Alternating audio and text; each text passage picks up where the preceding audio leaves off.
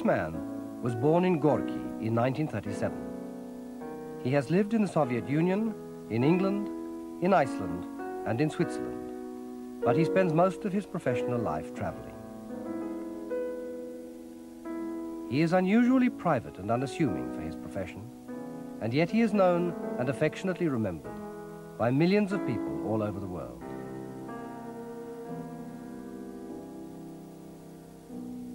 His name is Vladimir Ashkenazy, and he is one of the foremost pianists of our time.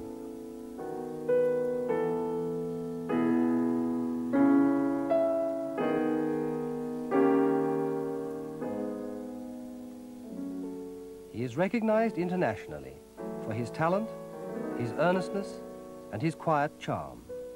And all of these things together in his appearances on television, which has played a major role in the development of his career. We have been making television films with him for the past 20 years, an experience that we have found both enjoyable and rewarding, and one worth remembering.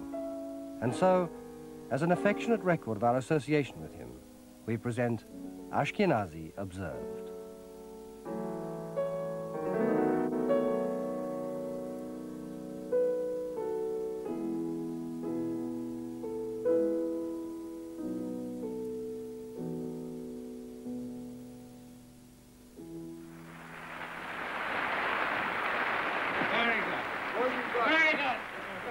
It all started here with Daniel Barenboim, backstage at the Fairfield Halls in Croydon, when they played Mozart's double concerto together for the first time on the 11th of March 1966. This was also the opening sequence of our first film for BBC television, Double Concerto.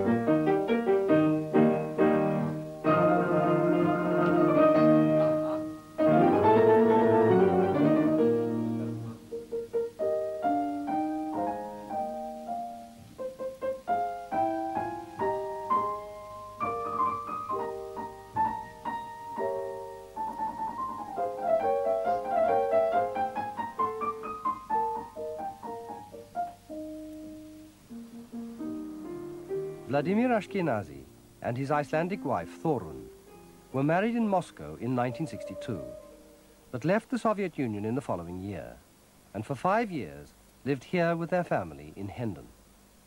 But in June of 1968, the combined pressures of constant touring and living in London persuaded them to move to Iceland in search of some peace and quiet and a better relationship with their children.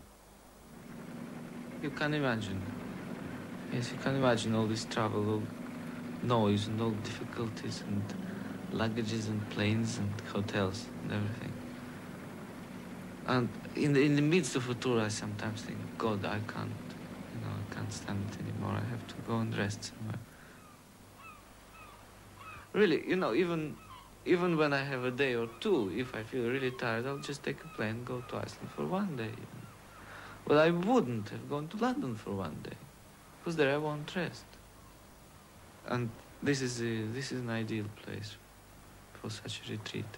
It's it's already marvelous. You feel already much healthier, and that is very important because playing is not just mental work; it's also physical work.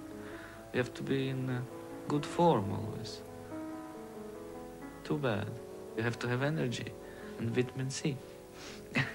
so you come here for the snow and midnight sun and waterfalls and green mountains and snowy mountains. And it's worth it. It's worth having this.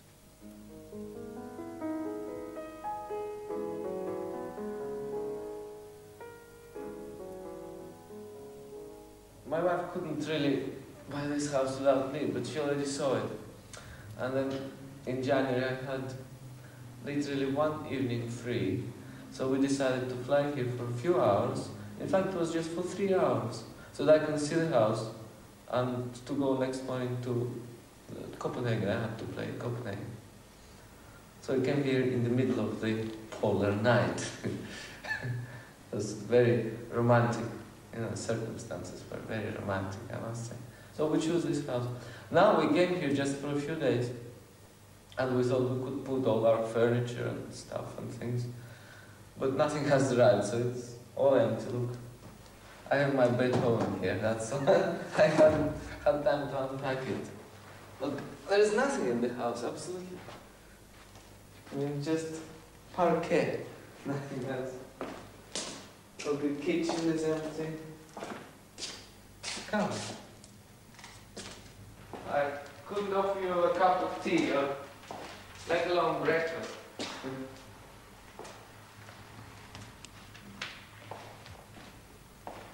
Very much room, nothing, no piano. I would I'm practicing a little bit. That's our first day in Iceland. First time we could stay here, and there is nothing. It's a bit stuffy here though. Dolly!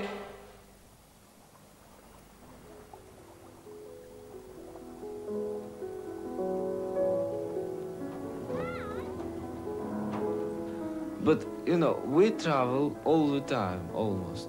So more I uh, travel without them, more I want to see them. And you know, um, older they grow, more I want to see them anyway. It's the funniest feeling.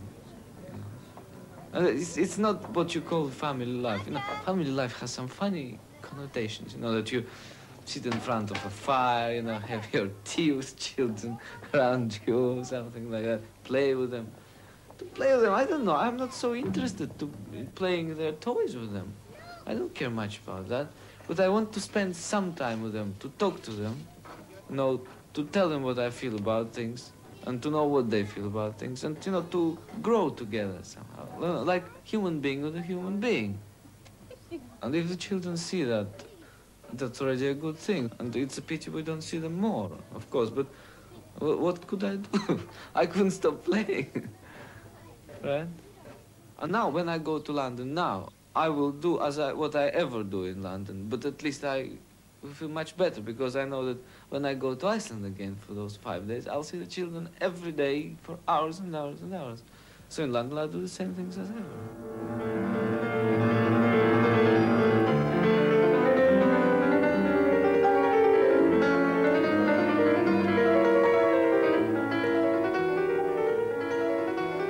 Few days later, he's back in London recording the César Franck Sonata with Itzhak Perlman.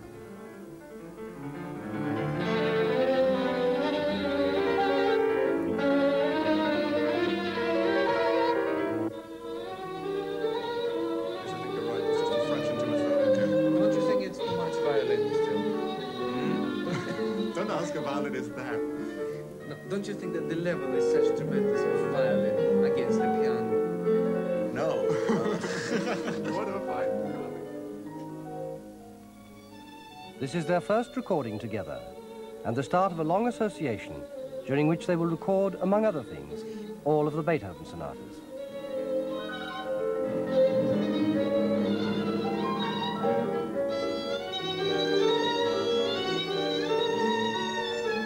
You see, you can't hear my high notes because you're so loud. Yes, I think we should have to take it down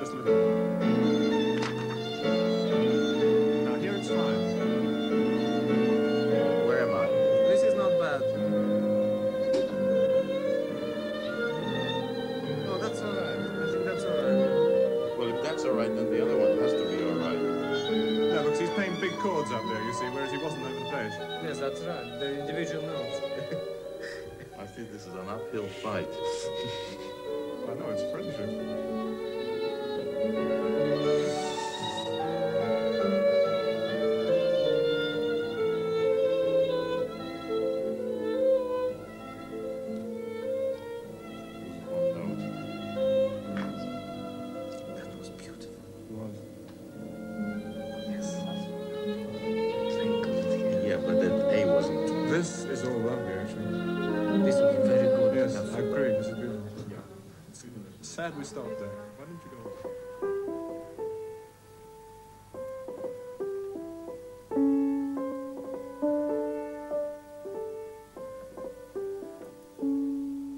London again in August to play Stravinsky's own arrangement of The Rite of Spring with Daniel Barenboim, a further extension of their already very fruitful relationship.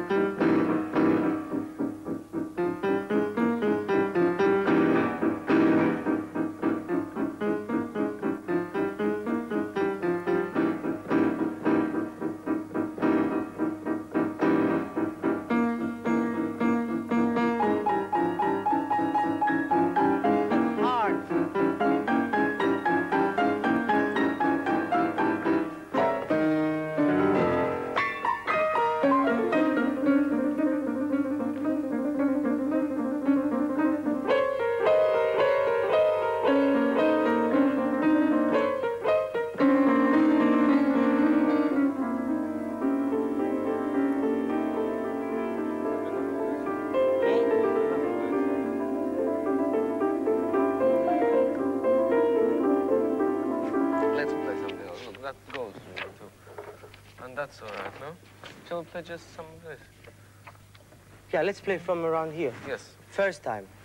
No, second. Second time. okay.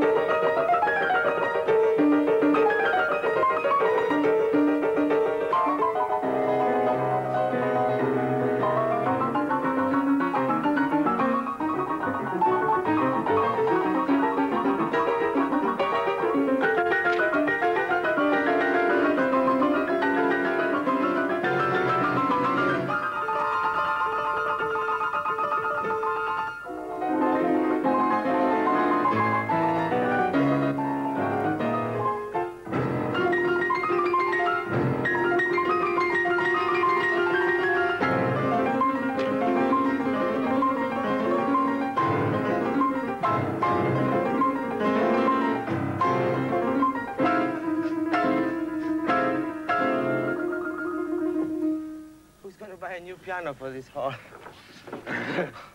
Oh, it's hard, isn't it?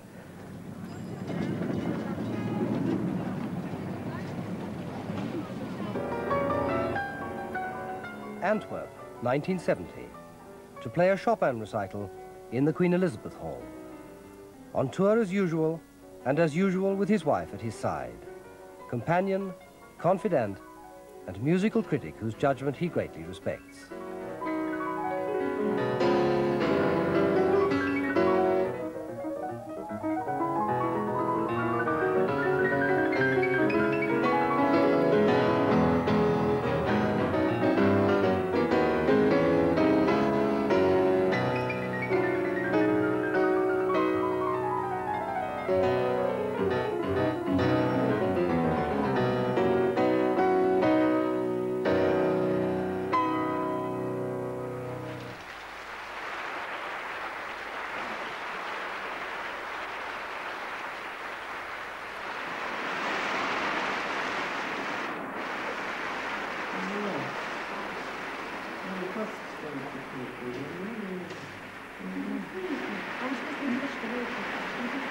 You're going to go now.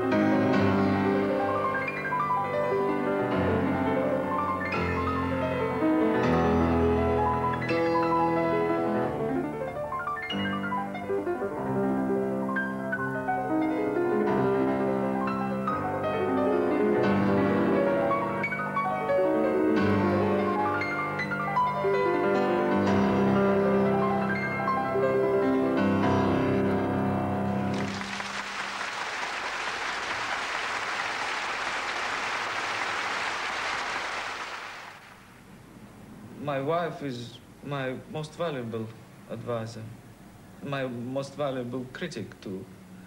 And she tells me exactly what she thinks, and she has a very natural response to music. And she helps me immensely. I couldn't overvalue her help, really.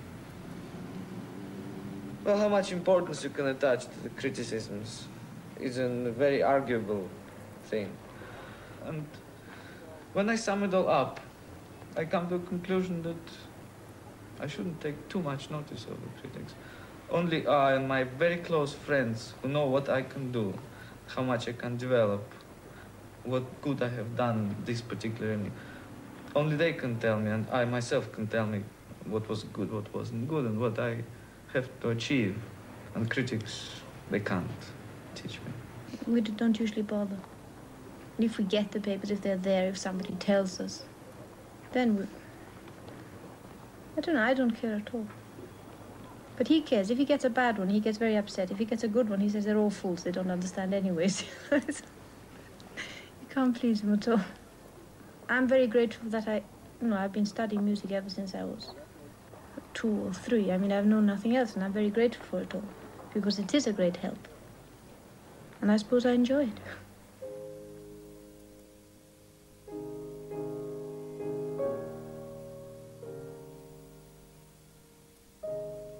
The University of Essex in Wivenhoe Park, Colchester, where he is to play Beethoven for the students.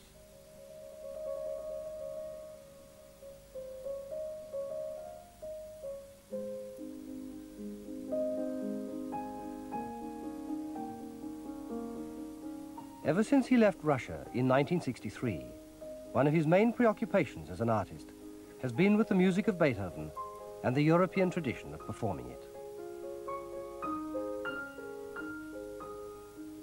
He has described it as a process of overcoming inadequacies. But this throws more light on his earnestness than on his technical ability. And it's characteristic of that same earnestness that the composer he most admires, he has found the most difficult.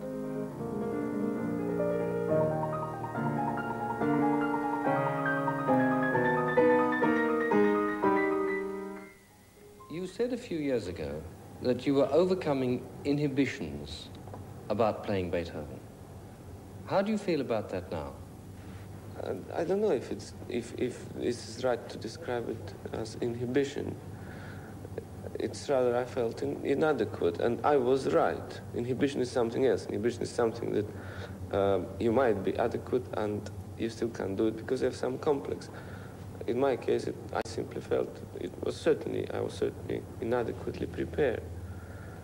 Um, but to say that I'm prepared now would be um, silly enough because with such great music, you can never reach the bottom. I mean, this is only a truism. I'm not saying anything new. Um, I certainly feel much better than nine years ago. And I hope that I'll go on feeling even better playing this music. I feel very deeply um, what should be expressed in it. And I believe that if I do feel very deeply, and that if I continue my research in this field and continue on working as hard as I have been, um, I should be able to produce something worthwhile.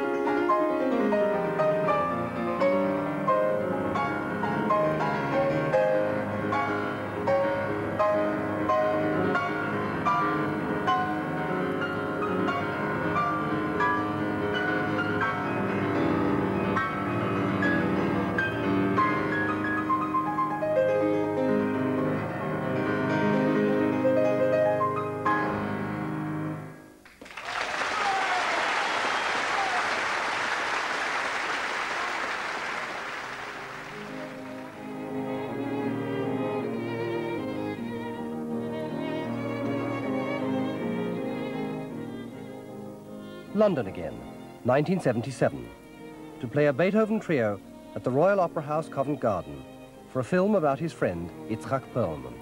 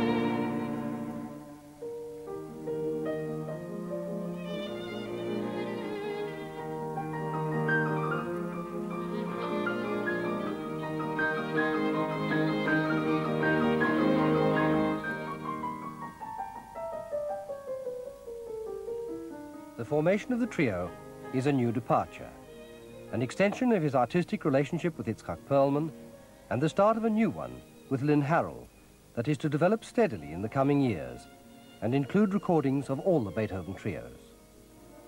The motivation for this and his readiness to cooperate in a film about Itzhak Perlman lies squarely in a genuine wish to be a good colleague and in the value of artistic collaboration. These are the same principles that led him to conducting for the first time and to accept our invitation to make a series of films about composers. In fact, it may be said that he is actually happier contributing to films about colleagues and composers than making films about himself.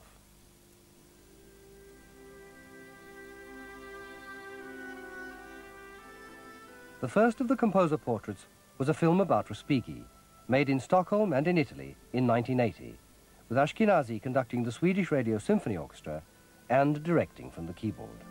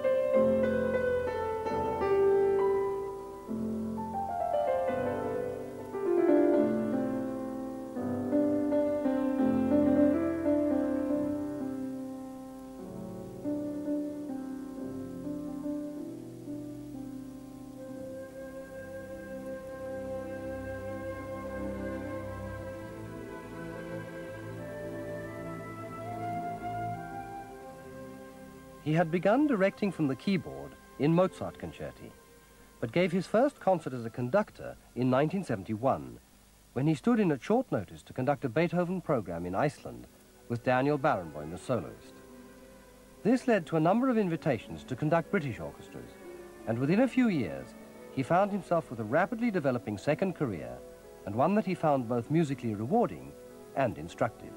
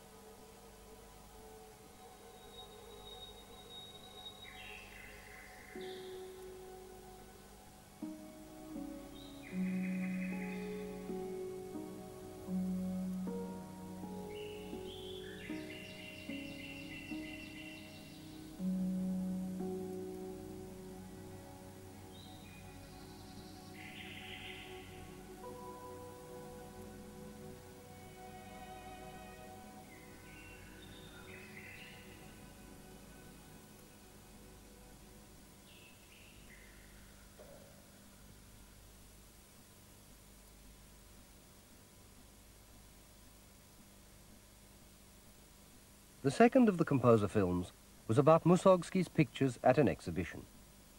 For many years after leaving the Soviet Union, Ashkenazy's mastery of Russian keyboard music was partially eclipsed by his concern to come to terms with the music of the West and the European musical traditions.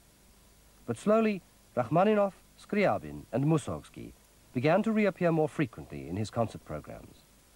And in September 1981, we filmed an astonishing performance of the pictures at an exhibition in the newly opened concert hall at the Barbican Centre in London.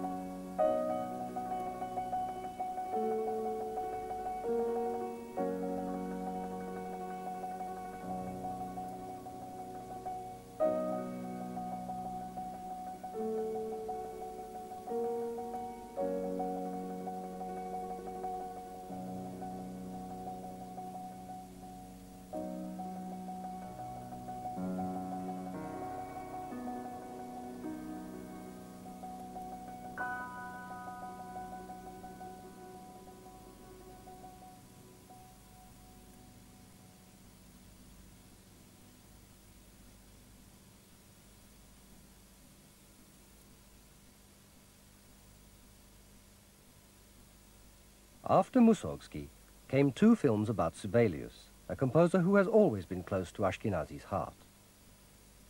He feels a strong sense of identification with Finland and Finnish landscape, spending some free time there each year. Perhaps it has echoes of his native Russia for him. In any event, having already made gramophone recordings of all the Sibelius symphonies, he responded enthusiastically to the opportunity to conduct the Swedish Radio Symphony Orchestra in two films that set out to place Sibelius' music in its Finnish context.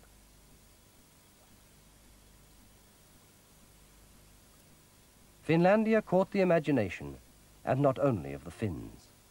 Its message rang around the world and carried the name of Sibelius with it.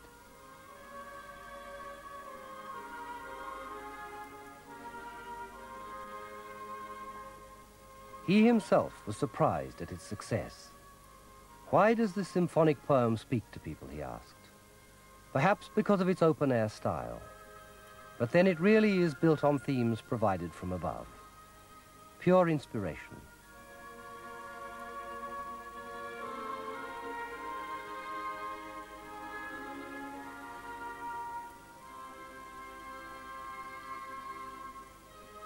Sibelius was 33 when he wrote Finlandia, and it shows little of the genius for structure and symphonic form that was yet to come. But the gift for unforgettable melody is already there, and it speaks with conviction and passion in the clear and unmistakable voice of a young Finnish composer who was to become in time one of the great symphonists of the 20th century.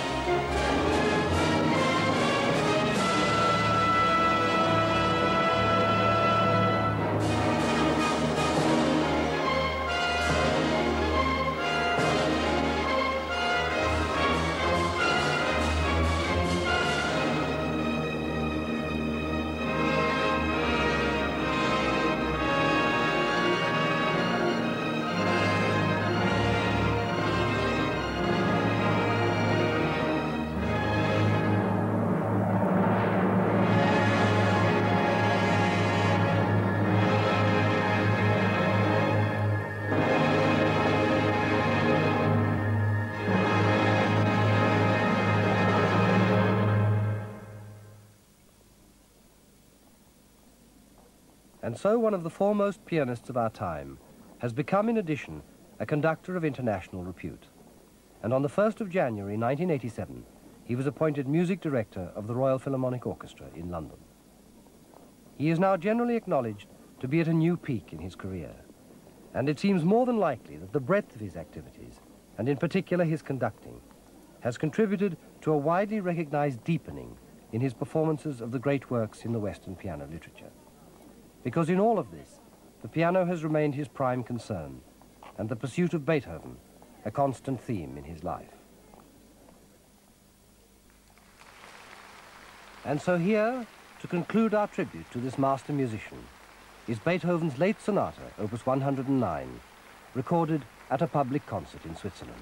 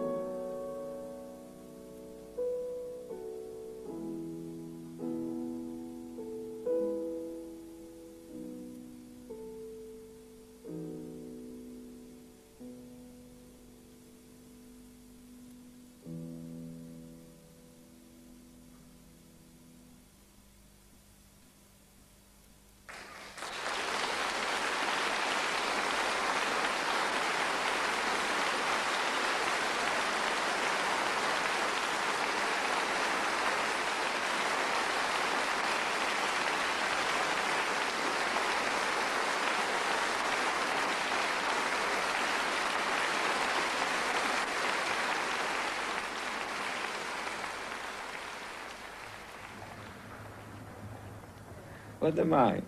I'm a, a human being, right? I'm a musician, pianist. What? I'm a man, husband and a father.